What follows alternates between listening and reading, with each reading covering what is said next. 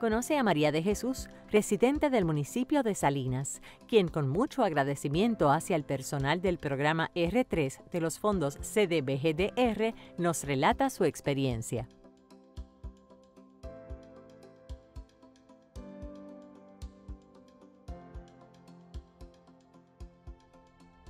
Bueno, cuando la preparación del huracán María, nosotros amajamos todo alrededor de la casa, pero los cines no nos podíamos amajar porque éramos nosotras solas y los menos pequeños.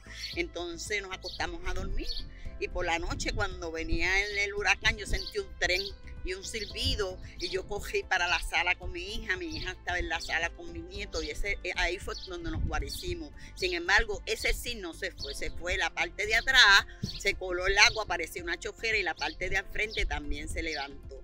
A yo ver eso, yo dije, ¿y ahora qué yo hago? Mi jardín, los árboles, los cines y alrededor de, de la vecindad también era lo mismo, sin agua, sin luz, esperando los, los camiones que vinieran a traer agua, vinieran a traer comida y así, ya pasamos aparecieron aquí unas personas preguntando que si yo era María S. de Jesús Viera, y yo le dije que sí. Entonces se, presentaron, me dijeron que la de, la vivienda G3, que yo cualificaba para su programa, y yo le dije, eso es perfecto. Entraron, vieron, y me dijeron, pues, señora, tenemos dos noticias.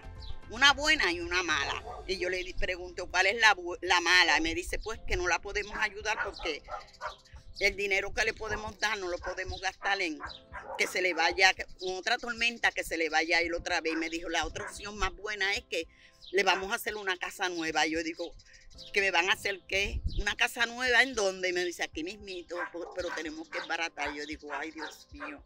Y yo dije, pues, viva Dios, tengo una casa adecuada para mí, a prueba de huracanes, a prueba de todo, y está así